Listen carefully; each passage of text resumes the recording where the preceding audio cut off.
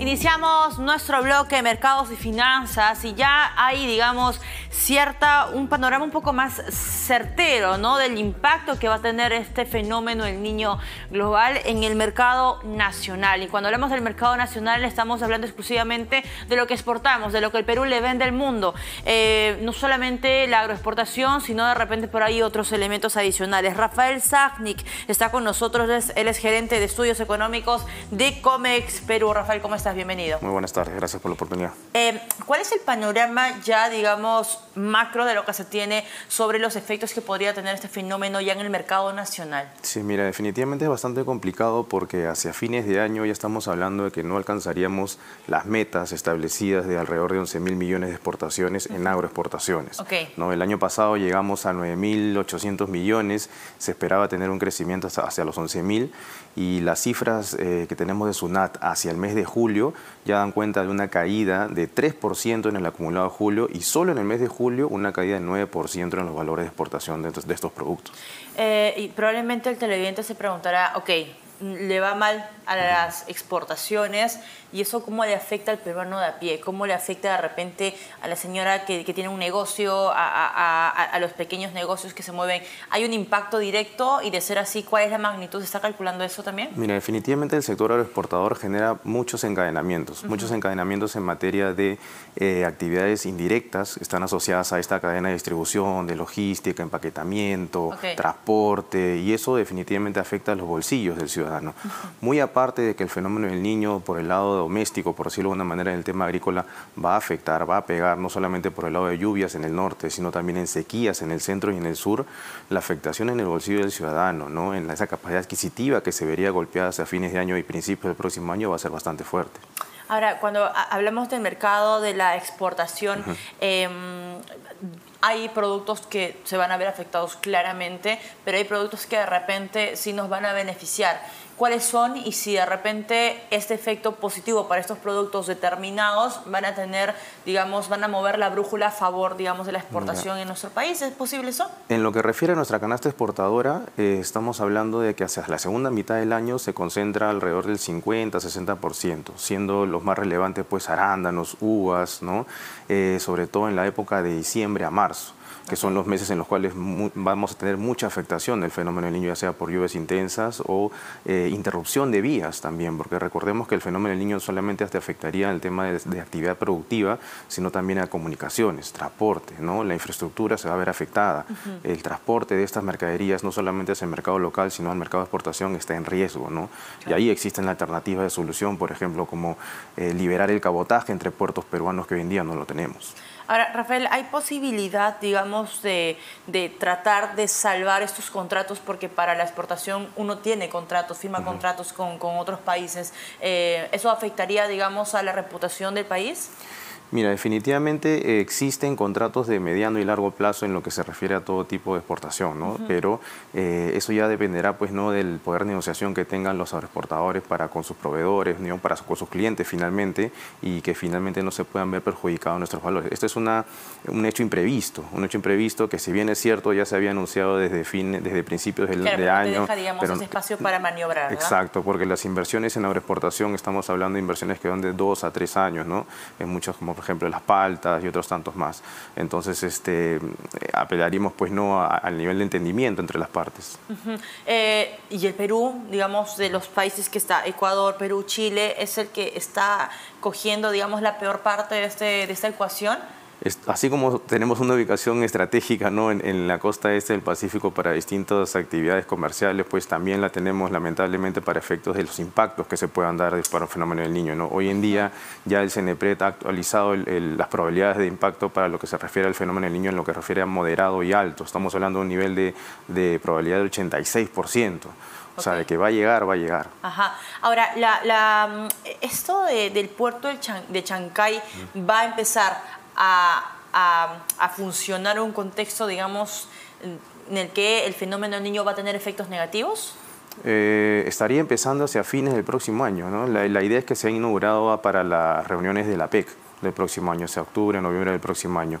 Y entenderíamos que en el 25 pues ya tendría pues sus primeras actividades comerciales de flujo entre Shanghái y, Lima en este caso, ¿no? Claro, ya se está hablando, digamos, de, de Manchay, Shanghái, ¿no? De Manchay a Shanghái, que es el lema, digamos, de... De, Shanghái, de Shanghái a Shanghái, claro. Exacto. Es, entonces, vamos a tener una apertura de un puerto de, de, de Manchay tan importante en un contexto en el que no de repente nos va a beneficiar toda inversión en infraestructura, toda habilitación que se pueda dar en cualquier contexto es positivo porque te genera puestos de trabajo, te genera inversión, te genera flujo comercial, alternativas, te genera el hecho de que puedas optar por esa cadena de suministro, de, de logística internacional sea el contexto en el que fuere, pues ya se verán las, las, oportunidades en cualquier producto, no solamente de exportación, sino también de importación para los ciudadanos. El consumidor es el que tiene que tener las posibilidades de contar con todos los productos del mundo a precios competitivos ¿no? en, mercados como el nuestro.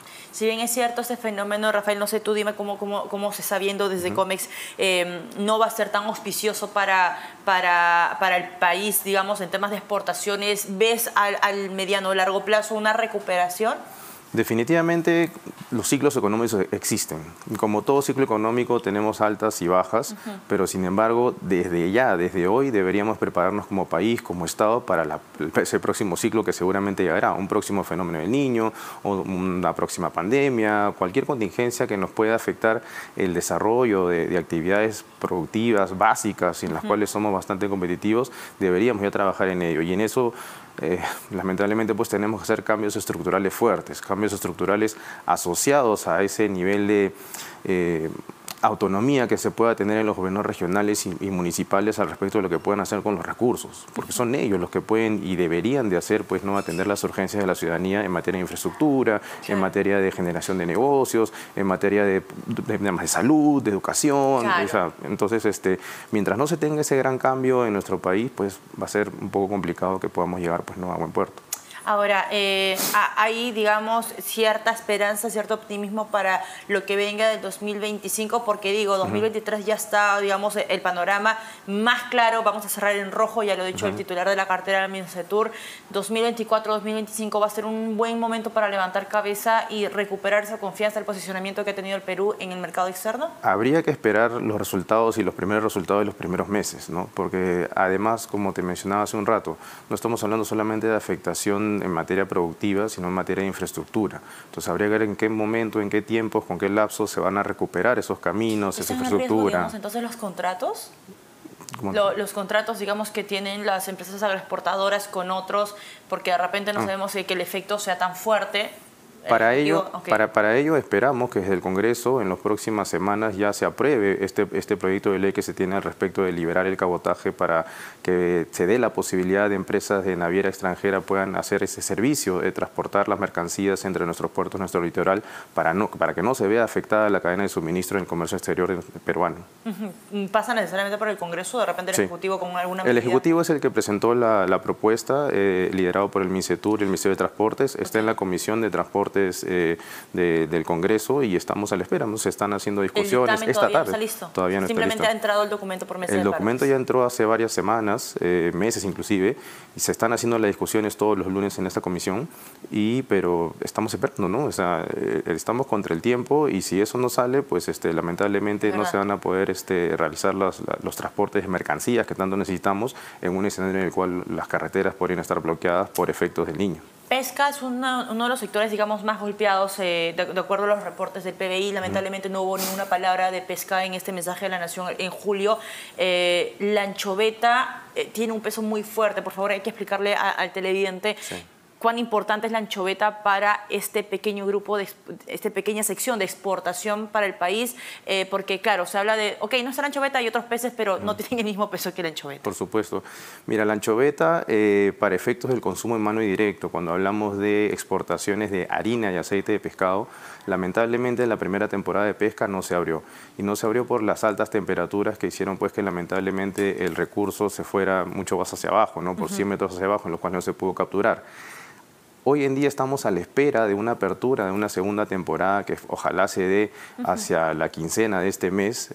todo eso depende pues, de los análisis, depende de los análisis de la investigación que esté haciendo IMARPE al respecto del desove de la anchoveta en el norte del país y en el centro del país y eh, produce, pues, ¿no? Quien es que finalmente lanza la resolución y luego pues establece las cuotas para las empresas.